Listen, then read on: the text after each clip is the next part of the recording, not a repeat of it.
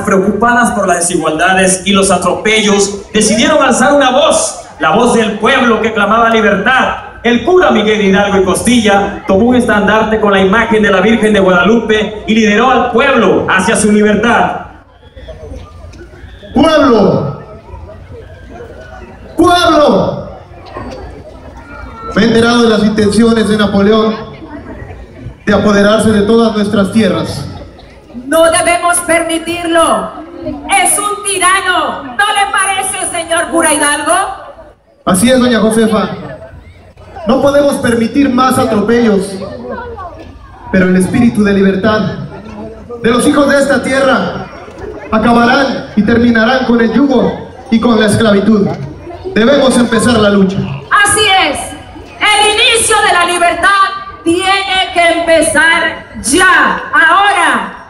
Tan pronto se fijó la fecha y el lugar en que se llevaría a cabo el inicio de la guerra contra el gobierno de la Nueva España, se dio la traición perpetuada por el capitán Arias, quien traicionando a los insurgentes denunció el día 10 de septiembre la conspiración que encabezaba el cura Hidalgo.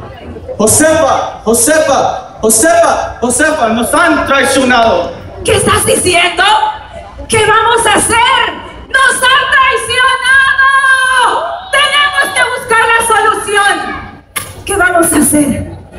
Vamos a avisarle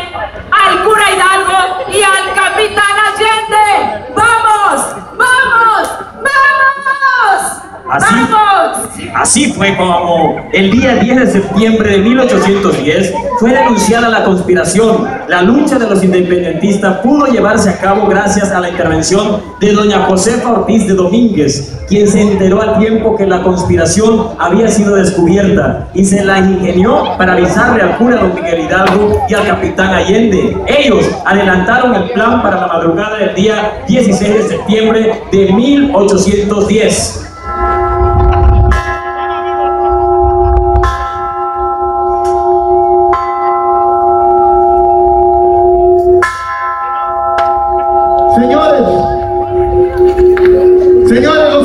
Llamar porque ha surgido una situación que pone en riesgo nuestra lucha. Desafortunadamente, desafortunadamente hemos sido traicionados. Y no podemos permitirlo. Así es que les pido que nos unamos como pueblo y nos levantemos en armas. Acabemos con la esclavitud y con el yugo de los españoles. Debemos comenzar la lucha. Les pido que nos levantemos en armas y iniciemos la lucha. Fue así como el pueblo de Dolores, el día 16 de septiembre a las 5 de la mañana, el cura don Miguel Hidalgo daba el grito de la independencia. Señores, les pido, ahora que estamos todos reunidos, México debe ser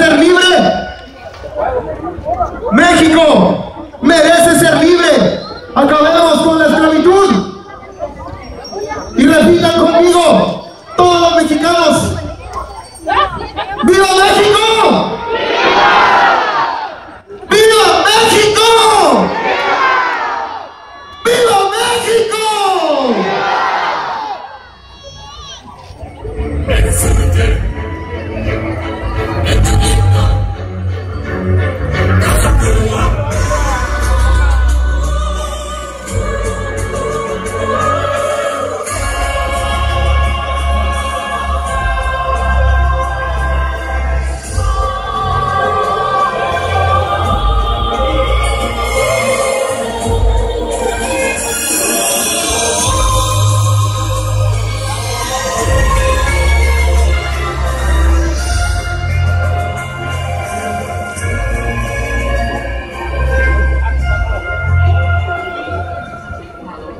audio. Bueno, sí, súbele, súbele.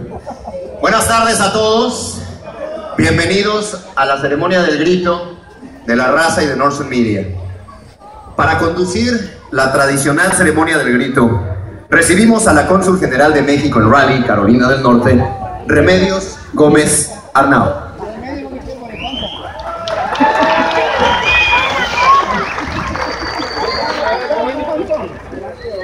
A continuación, los invitados de honor que acompañarán a la cónsul general de México en la ceremonia cívico-patriota.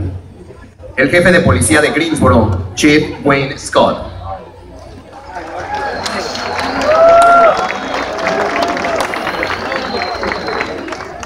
El representante del gerente de la ciudad de Greensboro, Christian Wilson.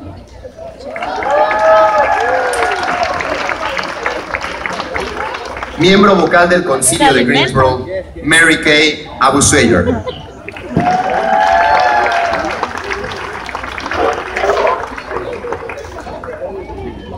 Profesora asociada de Letras Latinoamericanas de la Universidad de North Carolina en Greensboro, Verónica Grossi.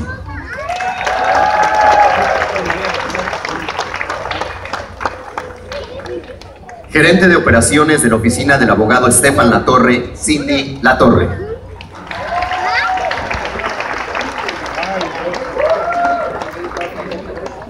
Fundador y propietario de la empresa Northern Media, el señor Norberto Sánchez y su distinguida esposa Iracema Sánchez.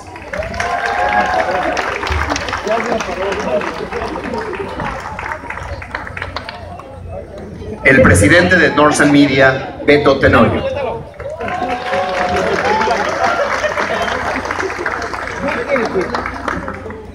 Ejecutiva Nacional de Ventas y Gerente de Relaciones Públicas y Comunitarias de Northern Media, Pamela Sánchez.